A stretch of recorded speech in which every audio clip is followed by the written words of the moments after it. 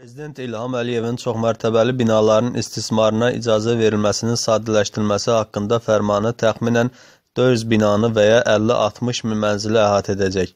Qafqaz İnfo xəbər verir ki, bunu Trendə müsahibəsində Əmlak Xidmətləri məkanının rəhbəri Rəşad Əbləsənov e, deyib. O vurğulayıb ki, bu fərman cəmiyyətin sosial-iqtisadi inkişafına vacib rol oynayacaq.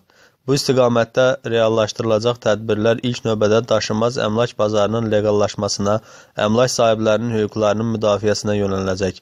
Qeydiyyata alma və ya təkrar qeydiyyata alma ilə bağlı bütün məsələlər dövlət səviyyəsində qısa zamanda həll olunacaq. Daha bir vacib məqam isə odur ki, bu gənc ailələrə ipotekadan yararlanmağa imkan yaradacaq. Əbləsanov əlavə edib ki, fərman müvafiq dövlət qurumlarının üzərinə daşınmaz əmlak sahiblərinin mülkiyyət hüquqlarının operativ şəkildə tanınması üçün zəruri tədbirlərin qəbul edilməsi ilə bağlı öhdəliklər qoyur.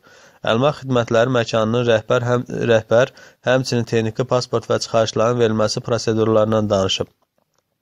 Prosedura əsasən binaların istismara verilməsi haqqında rəy Fövqəladə Hallar Nazirliyi tərəfindən hazırlanacaq. Daha sonra bu rəylər Dövlət Şəhərsalma və Memarlıq Komitəsinə və yerli icra hakimiyyəti orqanlarına ötürüləcək. Sonra 7 gün ərzində bu qurumlar tərəfindən binanın istismarına icazə verilməsi barədə qərar qəbul ediləcək.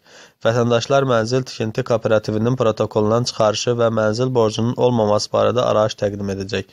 Bu sənədlər əsasında əmlak məsələləri üzrə Dövlət Komitəsi tərəfindən mülkiyyət hüququnun operativ tanınması təmin olunacaq və texniki pasportlar və çıxarışlar veriləcək.